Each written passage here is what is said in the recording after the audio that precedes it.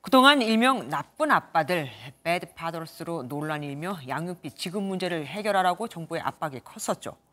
여성가족부가 양육비를 받지 못한 피해자들의 자녀가 성인이 될 때까지 매달 20만 원씩을 지원하는 선지급제를 도입하기로 했습니다.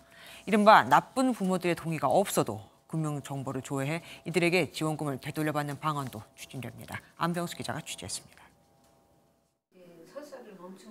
피아노를 곧잘 치던 딸은 양육비를 악착같이 벌어야 할 이유였습니다. 전 남편의 도움 없이 버텨왔지만 건강이 나빠지면서 지금은 생활비 걱정이 앞섭니다. 한 번도 쉬지 않고 일을 해왔어요. 근데 그 후에 돌아온 거는 그냥 병든 몸, 진짜 병든 몸. 그냥 3년 전에 이제 당 수치 조절이 안 돼서 이런 양육비 미지급 피해를 줄이기 위해 정부가 먼저 지원금을 주는 선지급제가 추진됩니다.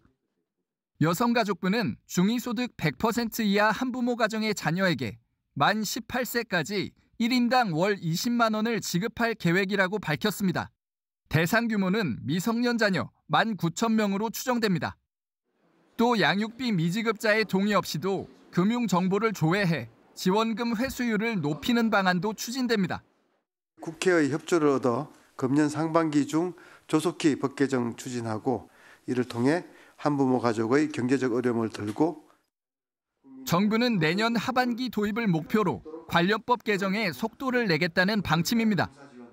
실효성을 높이기 위해 미지급자에 대한 제재 수위를 키워야 한다는 주장도 나옵니다. 양육비를 지급하지 않는 건 아동 학대다.